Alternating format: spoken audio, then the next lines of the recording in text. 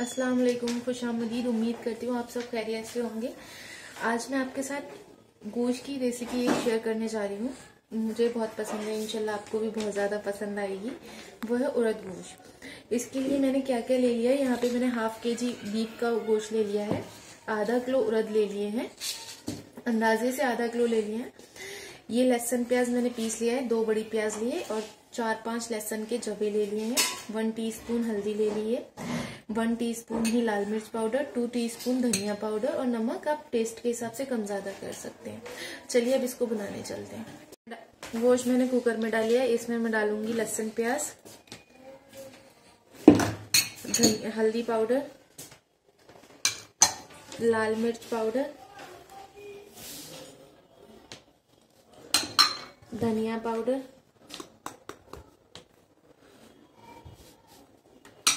और नमक। इसमें मुझे डालना है लगभग 100 ग्राम तक तेल।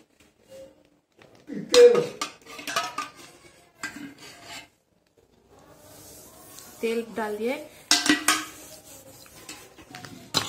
इसको डाल के अच्छे से मिक्स करके हल्का सा पानी डाल दूँगी मैं इसमें और फिर इसको गैस पे नॉर्मल फ्लेम पे रख दूँगी। उसके बाद इसे थोड़ी देर बाद डाउन पे कर दूँगी। लगभग आधे घंटे तक हमें गोश्त को भूनना है। थोड़ा सा पानी जाएगा इसमें। बस। और आधे घंटे के लिए मैं इसे गैस पे रख दूँगी। इसे गैस पे रखने के बाद इसे चला देना है और इसको ऐसे ही छोड़ देना है पाँच से दस मिनट के लिए।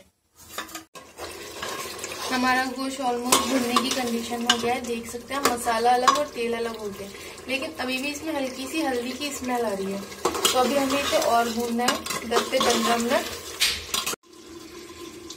हमारा गोश्त ऑलमोस्ट भून चुका है। इसे लगभग आधा घंटे तक मैंने खुला भून दिया है। अब मैं इसमें सीटी लगा दूँगी। तीन सीटी में गोश्त बिल्कुल अच्छी तरह से गल जाएगा। सारा गोश्त हम एक भगोने में पलट लेते हैं। गोश्त हमारा अच्छे से गल चुका है, भुन भी चुका है।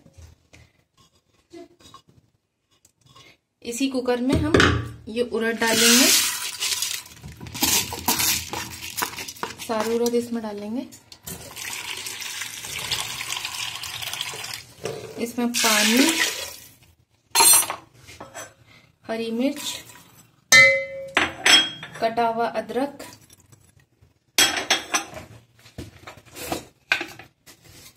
तेज पत्ता, हल्की सी हल्दी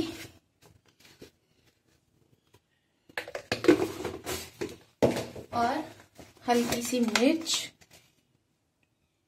डाल के इसे गैस पे रख देंगे। तीन सीटी आने के लिए कुकर मैंने यहाँ गैस पे रख दिया अभी इसका फ्लेम हाई है। इसमें एक सीटी आने के बाद मैं इसे डाउन कर दूँगी। दो सीटी इसे डाउन पे लगाऊँगी। उड़द खोल के देख लेते हैं। उड़द गले हैं या नहीं अभी तक। तीन सीटी में उड़द ऑलमोस्ट गल चुके हैं बहुत अच्छे से। उड़द को हम रई की मदद से हल्का सा मैश कर लेंगे। थोड़ा सा ही मैश करना है, ज़्यादा मैश नहीं करना है।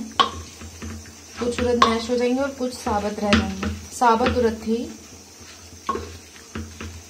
अच्छे से मैश कर लेंगे।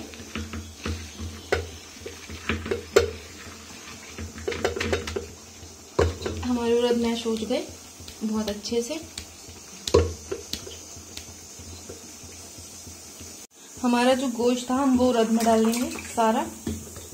अब इसमें ही थोड़ा सा पानी डाल के, लगभग जितना हमें शोरबा रखना है, इसमें हम पानी डाल के सारा मसाला, तेल, वेल जो भी है इसमें छुटा के सारा इसमें डाल देंगे।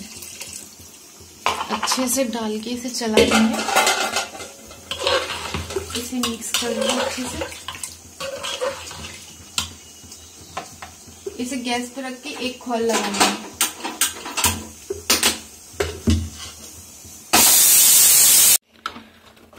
उड़द हमारे ऑलमोस्ट इसमें खोल आ चुकी है बहुत अच्छे से।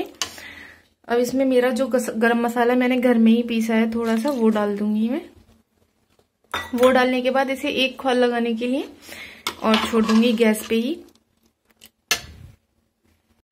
हमारे उड़द ऑलमोस्ट तैयार हो चुके हैं। यहाँ मैंने इसे हरे धनिया से गार्निश कर लिया है। मैंने एक पैन में प्याज डाल के हल्की सी ब्राउन होने रख दी है। ये ब्राउन हो जाएगी, मैं उड़द में ही डाल दूँगी इसको और गर्मा गर्म सर्व कर लेंगे। यहाँ मैंने एक बाउल ले लिया, इसमें मैं सर्व कर लूँगी। मैंने वो बुना हुआ देसी घी में प्याज भी इसमें डाल दिया है। सर्व कर लेंगे। पीसेस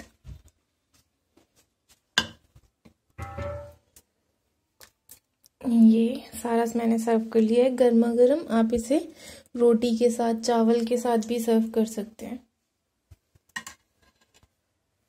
हमारे उड़द गोश्त तैयार हो चुके हैं। इसे मैंने हरे धनिया से गार्निश कर लिया है। अगर आपको मेरा वीडियो पसंद आया हो लाइक शेयर कमेंट सब्सक्राइब करना बिल्कुल भी ना भूलें। अल्लाह हाफिज़।